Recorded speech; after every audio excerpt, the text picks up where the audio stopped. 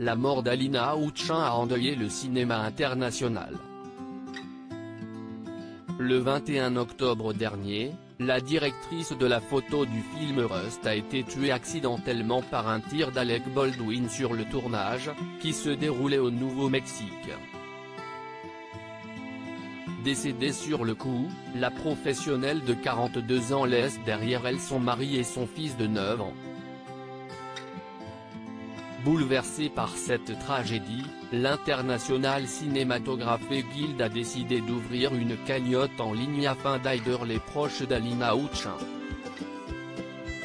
Et en quelques jours, une somme folle a déjà été réunie puisqu'elle la récolte de fonds atteint déjà plus de 230 000 dollars, soit près de 200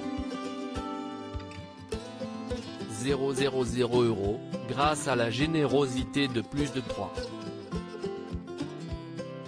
000 généreux donateurs. La section locale pleure le décès de Alina Outchin, directrice de la photographie décédée des suites de blessures subies sur le tournage de Rust au Nouveau-Mexique, le jeudi 21 octobre. Alina laisse dans le deuil son mari, Matthew, et son fils de 9 ans. À la mémoire d'Alina, la section locale a créé cette page GoFundMe pour aider à collecter des fonds pour sa famille en cette période difficile. Nous vous encourageons à faire un don si vous le pouvez, peut-on lire en légende de cette cagnotte de fonds. Dévasté par la mort de son époux, Matouchin lui avait rendu un bouleversant hommage avant de rencontrer Alec Baldwin. Alina nous a tous inspirés avec sa passion et sa vision, et son héritage est trop important pour être résumé avec des mots, tweetait-il.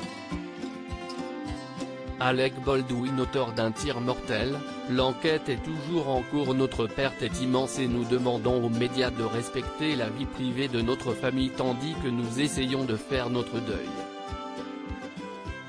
Nous remercions tous ceux qui ont partagé des photos et des anecdotes de sa vie, continuait le mari de la victime. Une semaine après le drame, l'enquête est toujours en cours. Les policiers s'intéressent notamment à deux personnalités. D'abord celui de l'assistant réalisateur, qui a reconnu ne pas avoir vérifié l'arme avant de la donner au comédien. Avait entre autres été licencié d'un précédent tournage pour un incident avec un pistolet. Ensuite, celui de Anna Gutiérrez-Reed, l'armurière en chef de Rust, qui ne se sentait pas qualifiée pour le poste. Loading DJ